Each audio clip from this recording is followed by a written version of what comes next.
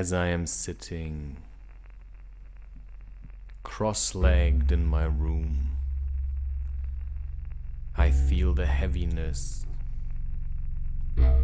of my emotions weighing down on me.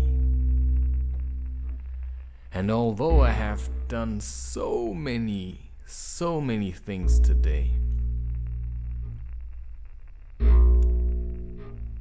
I have no idea what I still feel heavy about. I mean, I've made art,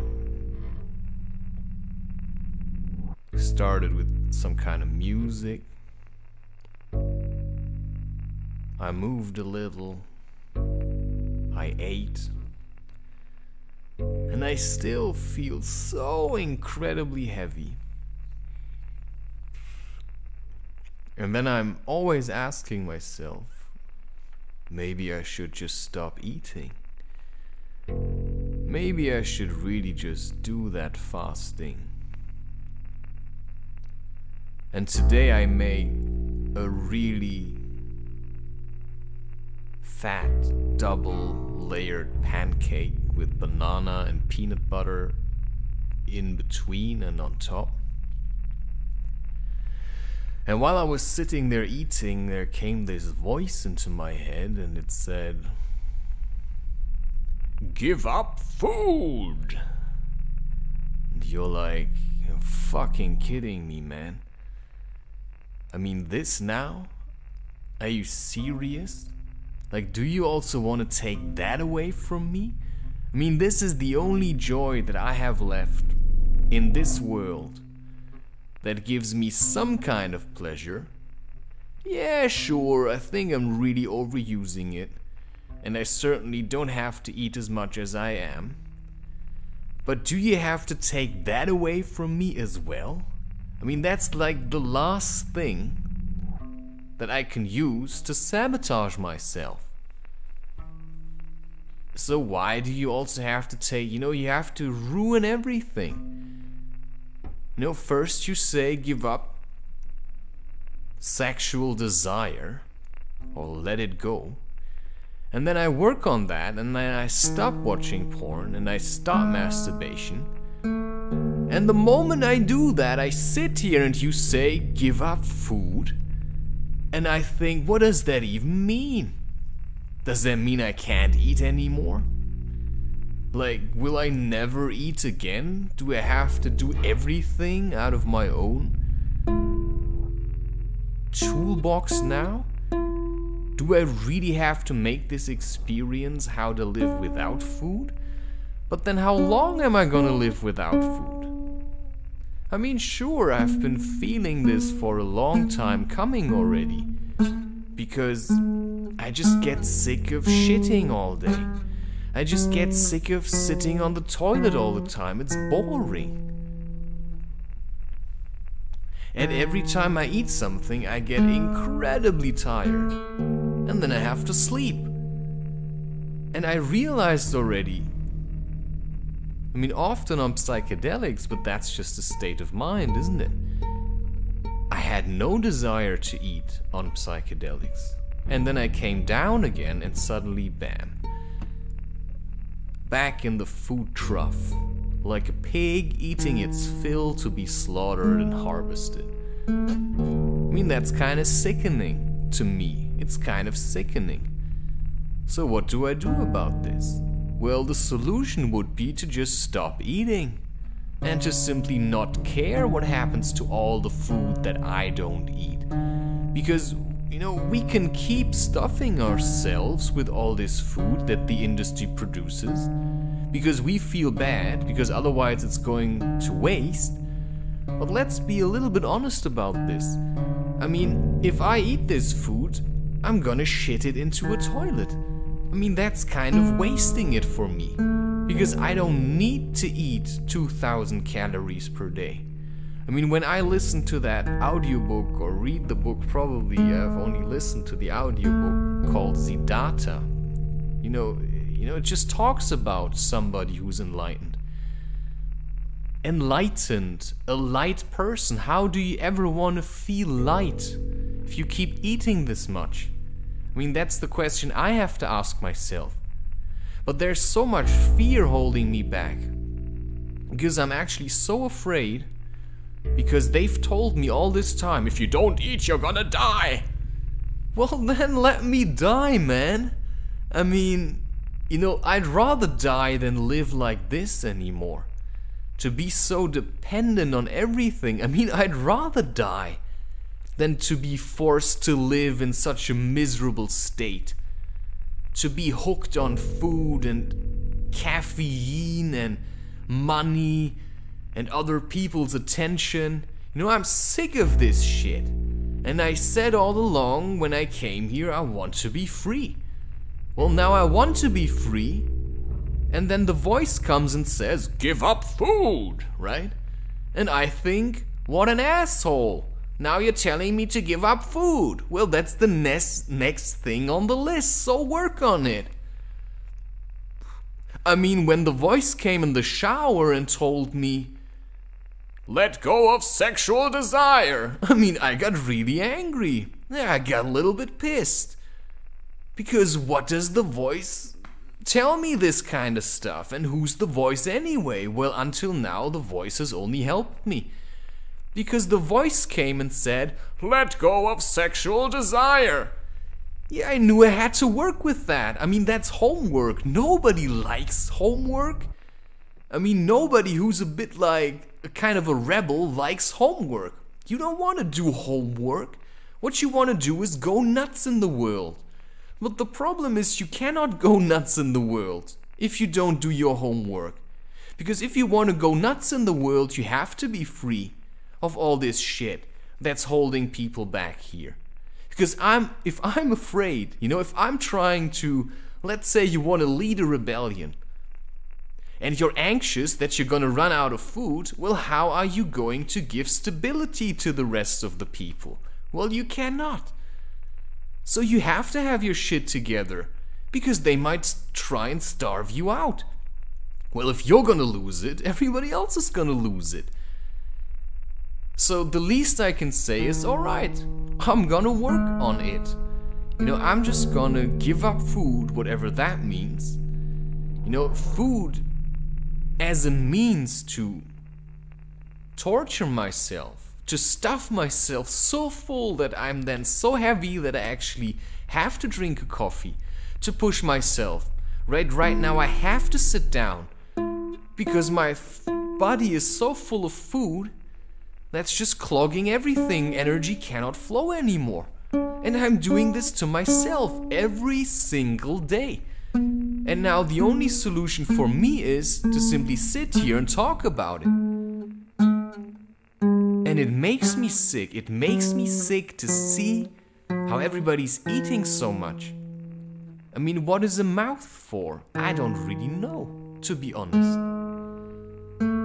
I mean, I don't know what it's about, but I know that every day, you know, I try to fast. I try to fast, I try to fast, and then all these excuses come no, I can't do that, I have to work, you know, I have to do this, I have to do that. Well, fasting is suffering. If I suffer a lot, you know, I have a lot of motivation to do art. Because that's what I want to actually do. I want to do beautiful things. I don't want to create more shit. And that's what happens when I use food to make myself feel better. I just take large crabs. And I have to fart all the time. I don't want this anymore. I don't want to eat all the time. It's disgusting. I mean, animals don't eat all the time. Once in a while, they stuff themselves. And that's it then. You know, it's not this constant flow of food. It's disgusting. It's really, it pisses me off. And something has to happen with that. So yeah, sure, the voice comes and says, give up food. What do I do? Alright. You know, I'm working on it, alright? Homework accepted. I'm gonna work on it and I'm gonna do my job.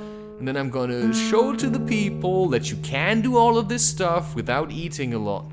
Or maybe even without even eating ever again. Maybe I can just drink stuff, you know? Maybe I can even continue to drink coffee. You know, I don't know how that stuff works. It says give up food. What does that mean? What does it mean to give up food? Is you know, is drinking food? Is drinking coffee food? Is tea food then as well? Should I just drink water? Right? Or is that also not okay? You know, where does it start and where does it end? I mean, it started with one chicken, and now we've got billions of them sitting around in cages. And I mean, just look at McDonald's. They started with one store and now they're they think it's okay to kill millions of chickens each year and cows and then just mash them together like they don't even exist. You know, it's like it's some kind of, you know, it's sick. It's sick. You eat one chicken McNugget, and there's probably hundred, a hundred different chickens in there. Don't you think that's kind of twisted? I mean, I already don't eat that stuff. But what's with peanut butter? I mean, how many peanuts am I stuffing into myself? I sometimes eat a jar of peanut butter in one day. How many peanuts? How much earth had to be used and tilled and fertilized and deforested so that I can keep eating peanuts? So that I can stuff myself with this ridiculous amount of food so that other people can make lots of money. I mean, this is kind of sick, it's kind of twisted. And I can feel it. I mean, there's this stench coming out of my throat. Why do you think all these toothpastes we're using are so strong? Because people are sick of their stench that's coming out of their body. Because we're basically shoving greed down our throats. So, yeah, what about coffee? I don't know. Maybe I'm working with transitions, right? But what is then with oat milk? You know, can I drink my coffee still with oat milk? You know, is that fine? You know, can I drink all fluids but just not eat? You know, can I juice my oranges? Or is that also not okay? You know, I don't even know what counts as food. So, what do I have to do? I have to figure it out for myself. I have to make a choice and I have to say, alright, I'm gonna have a look at it right? I'm gonna have a look at it, I'm gonna make a decision, and it's gonna be a hack job. And do you know why? Because the worst thing about fasting in this kind of twisted society is that people give you all kinds of shit for it. You wanna fast while you're living with other people, they're gonna come, Oh, don't you eat anymore? Yeah, I stopped eating. So what? Well, that's really unhealthy. Yeah, and suddenly you're eating again because you just think, just leave me the fuck alone. I mean, I just s- fast in silence. I just want to fast quietly. You know, I just want to fast and you leave me alone about it. You know, that's kind of the point. But then I go to people and I tell them I'm fasting, and as soon as I do that, they're on my back. You know, then, are you sure? Ah! You know, this pretends taking care of people. You're not taking care of me. You're just afraid I'm gonna die. So just leave me alone already. I mean, you have to really know how to set boundaries. Otherwise, you're gonna live the life of other people. And I've done that for so long, right? I don't even know how to communicate this anymore. Because people are so full of shit, you go there, you say, I wanna fast, and they annoy you so long until you're just gonna say, you know what, fuck it, I'm just gonna keep eating because this really pisses me off. But anyway, right, my resolve is strong. I think I can do it. You know, I'll find a way. In the end, all you have to do is you just go there and say, stop buying food from me. If they buy it anyway, just let it go to waste. Right? Because I've been eating food just because they bought it right? It's because other people buy food because they like taking care of me or something. I don't even want to eat it. You know, I didn't want to eat this stuff already for months already, but I never had the balls to admit that. And now I'm at this point where I say, what the fuck, mate? I mean, this is far beyond healthy. So, yeah, I don't know. Am I still going to drink coffee? Maybe. Am I still, you know, am I going to drink orange juice? Yeah, maybe. You know, I haven't figured this out. I don't know what counts as food or not. You know, maybe I'll work with transitions, right? Maybe I'll just work with transitions, right? Maybe once in a while I'll have a broth or something. But I don't want to eat all this stuff anymore. I just want to know for once in my life how it feels to be empty. To be really empty so that I know what is inside of me that I'm missing all this time. What am I missing? What am I missing today? I have everything. You know, I'm in my room, I feel kind of good, and then I'm missing something. What am I missing? There's nothing to miss. I'm missing other people? What? I'm missing a woman? You know, or what am I missing? There's nothing to miss. Everything's already there, so why am I eating so much? You know, this is like brainwashed. We've been brainwashed into thinking we have to eat all the time. You have to drink all the time. Well, I've, you know, I've drunk nothing once for four days and I still pissed on the fourth day because I was so full of water that my body still tried to get rid of it after four days. You know, we drink too much, we eat too much. So you have to find your own balance how much to eat, how much to drink. You cannot listen to science for this because science is just yeah, piggybacking the industry, right? They get funded by the industry. You have to understand that science knows nothing. All they say is what people want to hear or what they've been paid to say. Nobody gives a shit about the research that's being done. Nobody gives a shit about saving animals.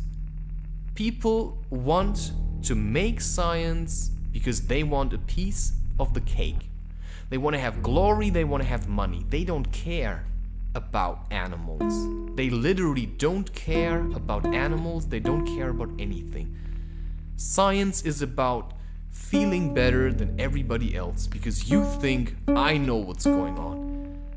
Well, I have to admit I have no idea what's going on and when the voice comes and says give up food then I'm gonna fucking work on that. And that's my choice. Make your own.